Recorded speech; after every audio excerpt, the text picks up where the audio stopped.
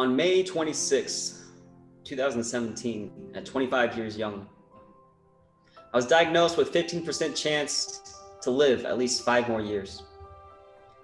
The cancer is a tongue twister. It's called desmoplastic small round cell tumor, or DSRCT for short. It's a sarcoma contrary to the carcinomas.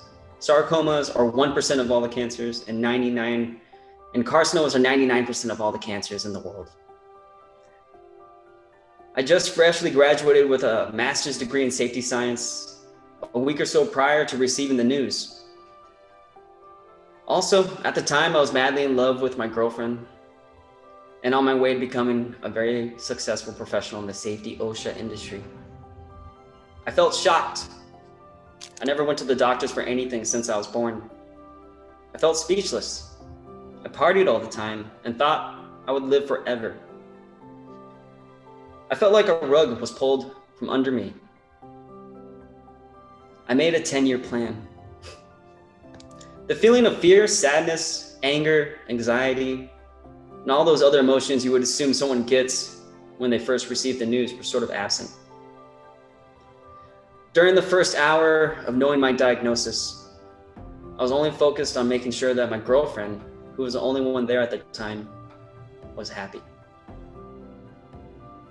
Instinctually, I proposed to her, thinking that this would turn her day around that she doesn't have to be sad anymore.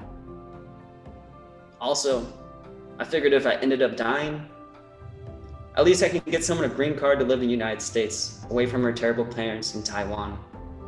She told me her parents have always treated her this way since she could remember.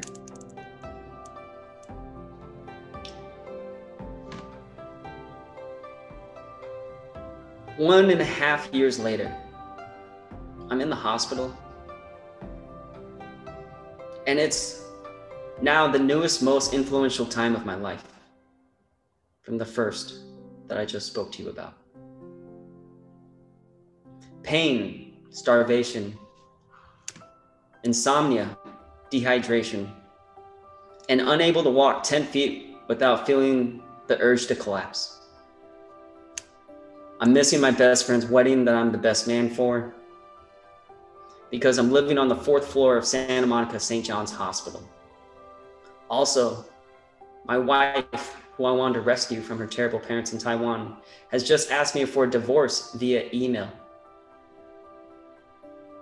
in the middle of the afternoon. Can you find the good in any of this? During that time, I did something that I've never done before or I've shared with anyone since then.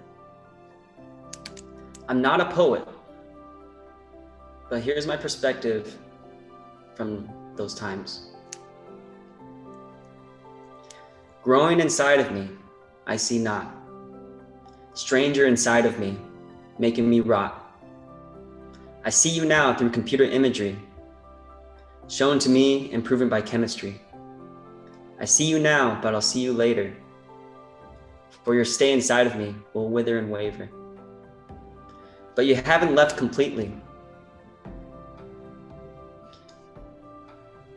You've had me gain something discreetly. A sort of knowledge, you can say, a sort of wisdom learned through each day.